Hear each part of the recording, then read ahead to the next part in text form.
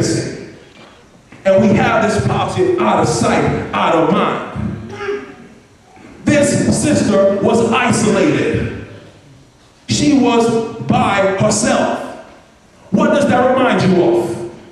It reminds me of sin. When sin is in our lives, we're isolated. When sin is in our lives, we're deemed unclean.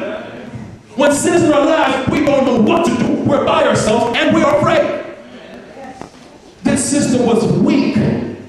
She had nothing left in her. She was losing all this blood. She was weak. Sin makes us weak. Yes, I want to talk to somebody that can I preach to your church? Yes. Now, it, it went on to say that she went to many doctors. She went on to see all these doctors, and every time she went, nothing was better. It got worse. You see, when sin is in our lives, man can't help us. And when we go to man, they only make it worse. When sin is our lives, we go through some struggles. And no matter what we think, and we got to bring it to one person, and it's not man. Sin takes away from us. But the scripture said she spent all this money.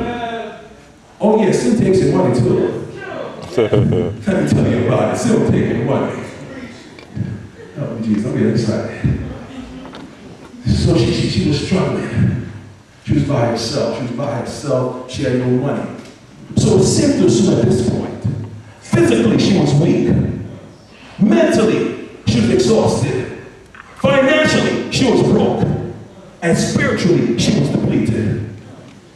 Have mercy. Sin will do it to us. Sin will make you weak. Sin will take your money. Sin will break your mind.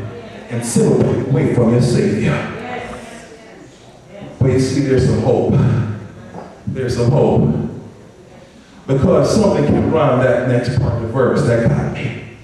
It said, Then she heard. What am I talking about? Then she heard of who? Jesus. And when she heard of Jesus, some hope came in her life. And, and, and I had to wonder to myself, how did she hear about Jesus? Because she wasn't with the church brethren, and they weren't visiting her. Jesus? I did some studying, and the book of Luke talks about how Jesus was going around some miraculous things. He was giving the sight to the blind.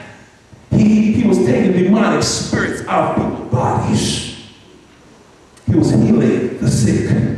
He was raising the dead. With that kind of power going on, you can't help but hear about him. So his fame grew. So she heard about Jesus.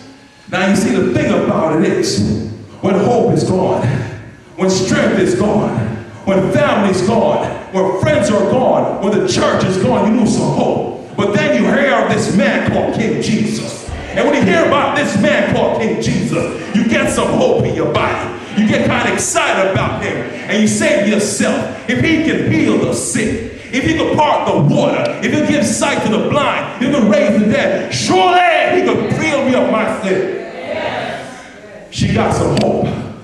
She got some hope in her life. And when she got that hope, I got excited. She said to herself, the only thing I gotta do, I gotta do one other thing. I gotta touch this man. And if I touch him, I will be made whole. That's right. She got together. And, and, and, and she, she, she, she sat down and I can imagine her waiting for morning light to see Jesus. And, and I, I want to share something with you. The other day I had a toothache, really bad one. I was taking time Tylenol, every kind of pills I could find just to get rid of this pain. Finally, I said to myself, I'm going to see the dentist. I sat in my bed one night. I looked at the clock. It said 8 o'clock. And this night, was different from any other night. Because I said to myself, tomorrow this time, I won't be in pain anymore.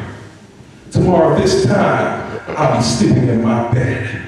Tomorrow this time, pain will be a thing of the past for me. I can imagine this lady laying down in her bed, looking up at the stars and saying, tomorrow this time, I won't be feeling any pain. Tomorrow this time, I'll be free from my burden. Tomorrow this time, I will go to the sanctuary and sing songs of glory to the saints. I can imagine her rejoicing in her bed. Because I'm telling you, when you have no more hope left, and you hear about King Jesus, you can't help but get some hope. And when you get that hope, you start making some plans. And she made her plan. She said to herself, once I'm healed, I'm going to walk around and tell about Jesus. Once I'm healed, I'm going to go back and do what I used to do. Once I'm healed, I'm going to find that church and sing my redemption song. Once I'm healed. Have mercy. What a good God we serve. Morning light came. I'm going to tell you something right now. We got to open some struggles at night. We got to open some pain at night. We got to cry sometime at night. We got we got to hurt a little bit at night. But I want to tell you something about that cry. It's all right. Wipe those tears. Get rid of that depression. Feel that joy. Because when the morning light comes, help me, Jesus. When the morning light comes, you're going to feel some joy. So morning light came, and this sister picked up her bags, and she covered herself up. Now I want to tell you something about her. This, this disease was embarrassing. This disease would, would, would cause some, some, some issues of talking around. So I can imagine her putting covers over her head, trying to hide herself, trying to cover herself, up but she didn't want to be seen. She didn't want to attract any attention. So she went through the crowds. She went through the crowds, and she's dodging. There goes Brother Jones, Don't going to see me. She dodged. There goes Sister Mary, don't want her to see me. She dodged. But even though she was doing all those things, even though she was doing all those things, she knew where she was heading. She was heading for somebody. She was heading for a master called Jesus. And she started walking to Jesus. Now I'm getting excited here. Because I think about her stepping to Jesus. I think about her moving. And every step she made, she felt a little bit better. And she felt a little bit better. And she felt a little bit better. And she kept Jesus. And then it happened, church.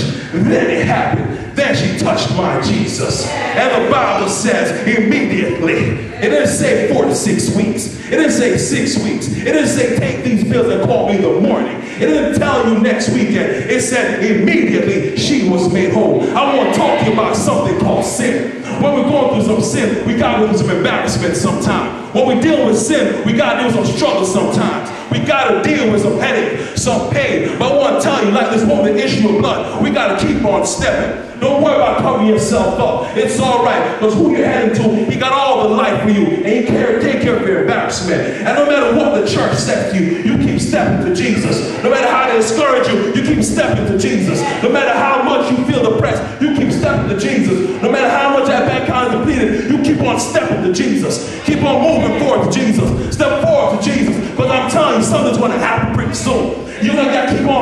Jesus. You may feel tired. You may feel weak. You may be mentally exhausted. You may be spiritually drained, but keep stepping to Jesus. But I'm telling you, what you're going to do is you're going to touch the master's hand. And immediately, when you touch his hand, that sin will run because sin's afraid of Jesus.